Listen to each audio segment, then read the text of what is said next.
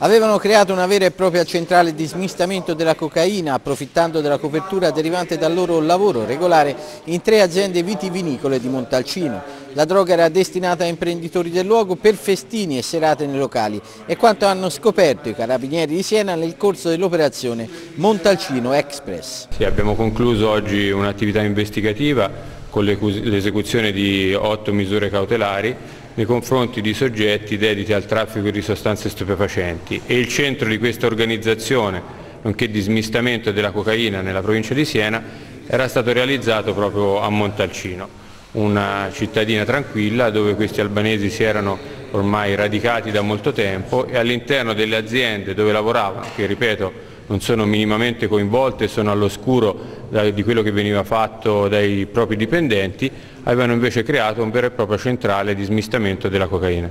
Indagate altre 15 persone, la cocaina arrivava da Roma e Milano grazie a corrieri generalmente incensurati.